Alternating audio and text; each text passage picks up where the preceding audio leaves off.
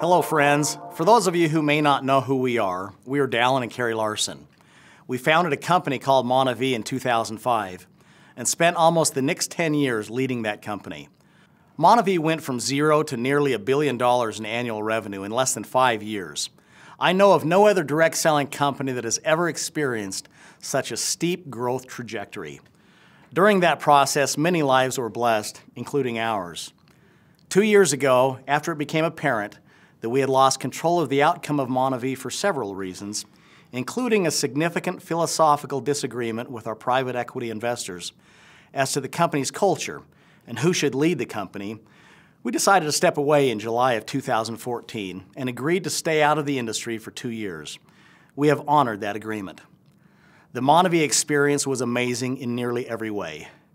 We are happy to say that as we sit here today, we have nothing but the fondest of feelings for all who contributed to its success. The last two years have given us the opportunity to spend time with our dads, both of whom passed away last summer within six weeks of each other. We've had time to read, to pray, golf, and spend time with our kids. I've been able to get back on the guitar and play some music with my old high school rock and roll buddies and many other things. When we resigned from Monavie, we shared a video message stating that we didn't know for sure what our future was going to look like. Now, two years later, we have clarity, and today we are grateful to share a portion of our vision with you. In the New Testament, we find the parable of the talents. We're probably all familiar with the story. And the message is that we all have different gifts and talents given us by our Creator, and that instead of burying them, we will be held accountable for how we nurture and multiply those talents. So instead of spending the rest of our days playing golf, fishing, reading, and traveling, we're determined to use whatever gifts and talents we've been entrusted with to serve and bless others. For some reason, even though I don't feel particularly gifted in many areas, Carrie and I seem to have been blessed with the ability to help create culture and companies that allow people to prosper. So we have determined to continue spending our time and passion doing just that. Since 1989, I've helped start and lead companies that created billions of dollars in earnings for distributors and stakeholders. We fully expected Monavie to be our last stop, but everything happens for a reason, and we don't question it. The Lord has said that His ways are not our ways. We've learned that to be so very true in our own lives, and as a result, we look forward. Interestingly, since I was a teenager, the number three has always been my favorite number. And so, after having helped build two very successful companies in direct selling, we've decided to spend the rest of our days in building a third and final company. And its genesis begins today with this message. We're starting this enterprise with the intention of doing good, of being good and wanting to bless others physically, financially, and spiritually. We want to help give roots and wings to individuals and families in an increasingly rudderless world. That's all, nothing more and nothing less. I agree with what Carrie's saying. Our absolutes in this venture are simple. They're short and they're clear. There are only three of them, really. First, we have every intention of leading this company until our last breath. This will be the final journey of our lifetimes. In addition, we have no intention of ever selling this company. We are not starting with an exit strategy in mind, but instead to build and leave a legacy. And unlike Monavie, we will maintain more than 50% ownership in the company so that we can steer the ship and the culture in a direction we believe to be in the best interest of our distributors. Second, I've often been introduced as the distributor's CEO, perhaps because I began my career in this industry as a distributor. As a result, I understand how hard it is to build and maintain an organization. So as far as I'm concerned, a distributor can never earn too much income. With this as a driving philosophy, we are going to reward and recognize distributors in a most exceptional manner. And if I may be so bold as to say, better than ever before in direct selling. In every decision we make, we will put the interest of our distributors first and foremost, so that you will want this company to be your permanent home, as it will be for Carrie and I. Once we unveil our product story, I absolutely believe you will recognize how disruptive it truly is. We will own a story and a significant niche in the marketplace, and it will be powerful. And once we unveil our compensation plan and rewards and recognition program, Over the next few months, few weeks, you will see more clearly how I value the contribution of distributors and how we have put them first. In today's regulatory environment, the only companies, the only companies that will survive and thrive will be those companies that create a massive and loyal customer base rather than those companies that simply focus on recruiting other distributors. It is indeed a new day in direct selling, and in my view, this is good news, not bad news. There's nothing in the world that we want or need financially. So we're not motivated by money. No amount of money compares to the satisfaction of helping a single mother put food on her table or get her children educated, qualify for a home or even pay off her mortgage. And no amount of money is worth losing contact and relations with friends you love. No amount of money compares to being able to sit with friends in hospital bed as they finish the race of life. No amount of money compares to the tenderness of traveling with others to help feed and clothe some of God's most needy children no amount of money compares to the satisfaction of seeing couples and families grow closer together through shared purposes. It's not about the money for us, it's about living a life of significance. Principles, passion, and purpose don't have a price. Third and lastly, Carrie and I are fully committed to each other and our family. Our priorities will remain God first, family second, and business third. With that said, we will be giving our whole hearts to this venture. Priorities are important, and we believe we've got them in the right order.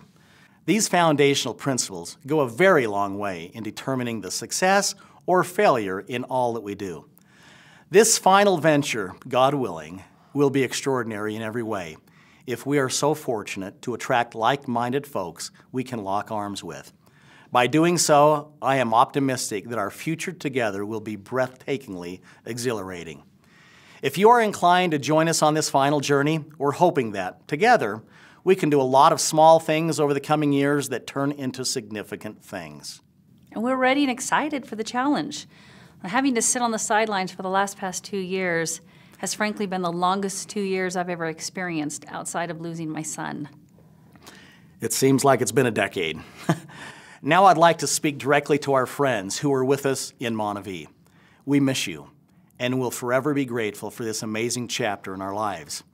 Trying to explain the Monavie experience to someone who wasn't part of it is impossible. It's like trying to explain a great movie to someone who never saw the movie.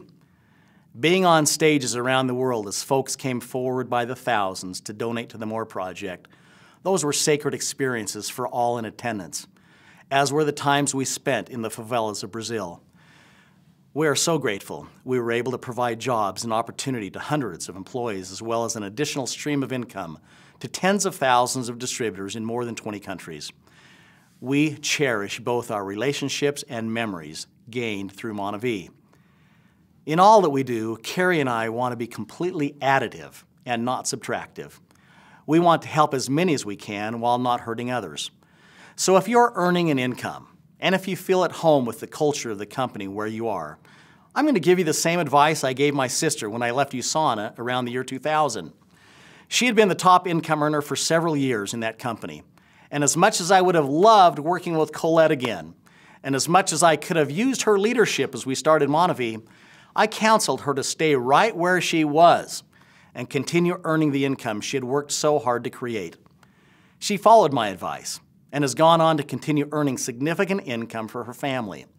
So again, if you feel at home where you are and you're already earning an income, my advice is to stay where you are. I've never believed you have to burn down one company to build another. There are around 7 billion people in the world. My guess is that just as Monavie was built with newfound friends, our final venture will be much the same. We give you our word collectively that we will not reach out to a single person in Monavie in hopes of you joining with us. If you choose to join us, it won't be because we called you. We believe that's the honorable thing to do. Now, with that said, we'd like to take a few minutes to talk about our plan. I know that some of you expected a message from me the first week of July when my two year non compete expired, that we were ready to launch our final venture that week. That's obviously not the case. Over the next several months, we'll be working on the foundational pieces of the company. This means assembling a world-class corporate team, identifying a compelling story and product offering, finalizing the compensation structure, and beginning to identify some of our early field leaders. I will, of course, be looking to team up with leaders who are in transition and who have built large organizations in the past. They should have proven leadership skills along with wisdom, people who have proven to be trustworthy, people who can be part of a team, people who can check their ego at the door, and people who love the people business and are looking for an opportunity to build something of significance and stay for the rest of their lives. You know, I've learned in my almost 30 years in this business that past success doesn't guarantee future success. And more importantly, I've learned that someone who didn't necessarily hit a home run with one company can indeed hit a home run with another company. I've learned that it's not one single thing that makes the difference, rather, it's the convergence of many factors, including but not limited to the right people, the right message, the right leadership, the right product offering, the right work ethic, good chemistry between corporate and the field, and a myriad of other factors. So, my message to you is that regardless of the structure coming out of the gates, leaders will emerge over the coming months, years, and decades based on performance. And rest assured, the only way we were going to get back in this arena one final time and for the rest of our lives was to create something completely disruptive, something that has never been done before.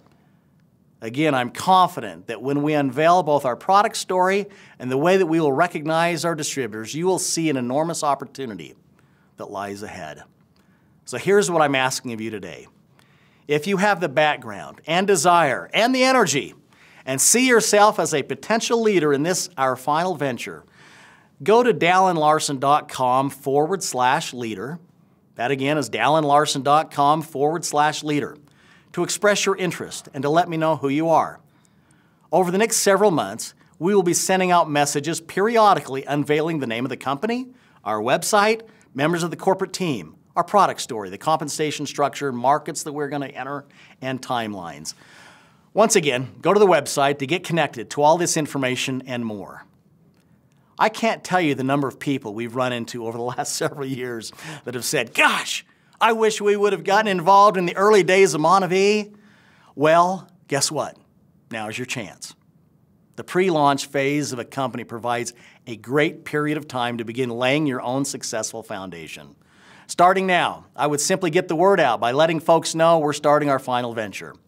As you spread the word and share this video with others, you could say something like, the founder of Monavie, former Ernst & Young National Entrepreneur of the Year, former CEO of the Year in the state of Utah, a man and his wife who helped create billions in revenue in direct selling, are starting their final venture in a few more months. And you can be one of the first people in the world to become part of something special. And you know what? If that doesn't work, you can use the line that convinces everyone. You can say that one of the most loving, kind people in the world is starting a company, and she's allowing her husband and a few others to be part of it. Folks, it's about to get really exciting. I hope you're starting to sense what's about to happen. Can you feel it? I told Carrie a few weeks ago that I can feel the energy beginning to percolate. We've been down this path before and know that feeling. It's a feeling of excitement, a little nervousness, the calm before the storm. This video message has not been created to answer all your questions, obviously, but rather simply to let you know that we are back and we're going to spend the next three to five months determining who we will be partnering with as our pioneering field leaders. In the movie Field of Dreams, Ray Kinsella hears the voice saying, If you build it, they will come. We are going to build it, and we believe that people will come. These are the people we are going to spend the rest of our lives with. We're hearing your voices already. We will build it by developing a loyal base of customers who consume our products each and every day. We will build it to stand the test of time. We will build it with humility, with faith, with solid and unwavering principles, and never forget that at the end of our days, we want our lives to be an accumulation of those small acts of goodness that end up leading to great and significant things. And what's most important to us is that we remain grounded committed to each other and to the Lord, and committed to helping as many people as we can physically, financially, and spiritually. It's important to us that we finish strong and that we keep our word and that we align with the right nonprofit to help the needy of the world. And then when our days, like our dad's, have come to an end, we'll return to the God who gave us life. And as we fall into his glorious arms, we'll see him smiling back on us, whispering the words, Well done. And that, my friends, is why we choose to enter the arena one last time. We don't promise you millions of dollars. We do promise we will do our very best with the gifts and talents we've been given to bless as many as we can for as long as we can. So if you're at a place in your life where this message resonates with you, we want you to be a part of this new venture with us from the very beginning. Once again, if you're interested in being an early leader in our final venture, we need you to identify yourself by going to the website and filling out the information completely and accurately. Your messages and information will come to me directly and confidentially. I look forward to hearing from you. You know, today we drop the pebble in the ocean and we see a small ripple that over the coming years, God willing, and as we are faithful to our word and to each other, will extend around the world. Something significant is born today. So let's get on with it. There are people waiting for us and counting on us. Welcome home.